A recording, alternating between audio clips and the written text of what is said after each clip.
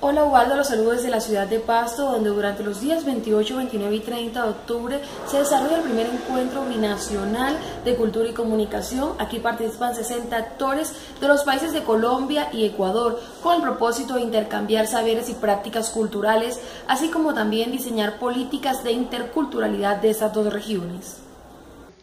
Colombia y Ecuador son dos países hermanos que comparten un territorio de frontera nacional que se extiende a lo largo de 586 kilómetros, franja fronteriza que constituye un lugar donde se encuentran las múltiples identidades y allí despliegan, negocian, intercambian varias formas de vida maneras de relacionarse entre sí y costumbres que se funden en un proceso de mestizaje e interculturalidad, razón que ha motivado a los ministerios de cultura de estos países a organizar el primer encuentro colombo-ecuatoriano.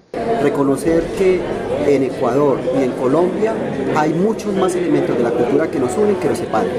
En el primer encuentro participan colectivos de comunicación y realizadores de contenidos de Colombia y Ecuador.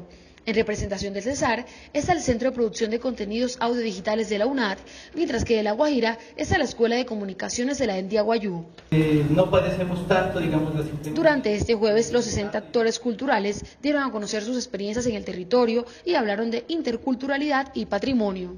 RPT Noticias continuará en esta zona fronteriza con el propósito de entregarles detalles del primer encuentro colombo-ecuatoriano de cultura y comunicación.